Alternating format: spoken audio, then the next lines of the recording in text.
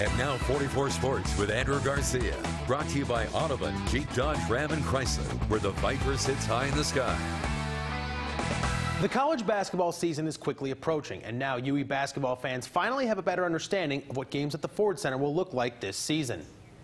The city, the University of Evansville, has decided that it will start its home season with a maximum capacity inside the Ford Center of 500 fans. Not only will it be just 500 fans allowed at home games, more specifically, according to UE, that will only include a limited number of UE students, home and visiting team family members, and guests allowed by the NCAA and Missouri Valley Conference, designated game day personnel, ACES assist members, and other contractually obligated partners. We think as the season gets close to us, there was really only one choice for us, uh, and that is the right decision for the university, the right decision for the community, and that is to do our best to be able to limit the amount of spread of the coronavirus here in Evansville.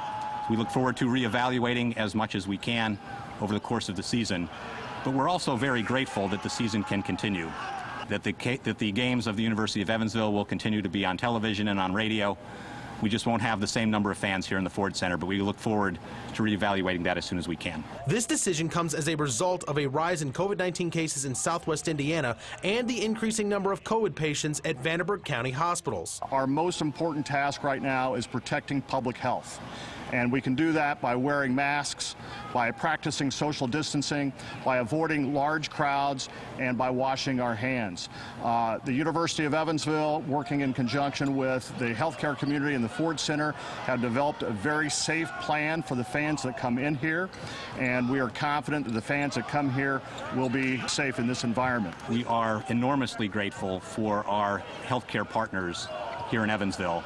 Dr. Spear, Dr. Dunaway, Dr. Huhnke, for their guidance in helping us come up with what we think is a very reasonable way for our season to be able to continue